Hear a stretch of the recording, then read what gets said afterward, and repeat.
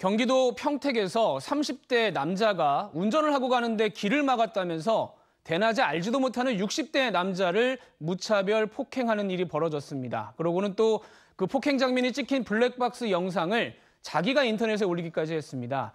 경찰이 지금 이 남자 쫓고 있습니다. 유수환 기자입니다. 어제 낮 경기 평택시의 한 도로입니다.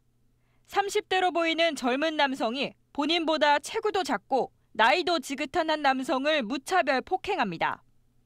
피하려는 남성의 머리를 주먹으로 세게 치고 바닥에 넘어뜨린 뒤 발로 머리를 가격하기까지 합니다. 일방적으로 맞고 쓰러진 남성은 충격을 받고 도로에 누워 한동안 일어나지 못했습니다. 경찰이 사건 현장으로 출동했지만 가해 남성은 이미 자신의 차를 타고 도주한 뒤였습니다. 경찰 조사에서 60대 피해 남성은 맞은편 차로에 있던 가해 남성의 차량과 진로 방해 문제로 실랑이를 벌이다 폭행을 당했다고 말한 걸로 확인됐습니다. 사고가 날 뻔한 거예요. 피해자는 유턴, 가해자는 직진 이러면서요. 가해 남성은 폭행 장면이 담긴 블랙박스 영상을 유튜브에 올린 걸로 드러났습니다.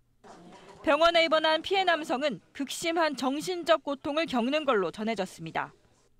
경찰은 가해 남성의 신원을 확인하고 주변 CCTV를 분석해 도주 경로를 추적하고 있습니다. SBS 유수환입니다.